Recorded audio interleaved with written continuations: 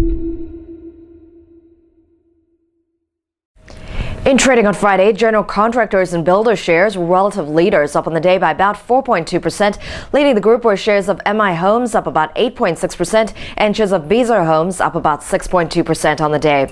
Also showing relative strength are metals fabrication and product shares up on the day by about 3.1% as a group, led by Tasman Metals trading up by about 10.5% and Molycorp trading up by about 9.8% on Friday.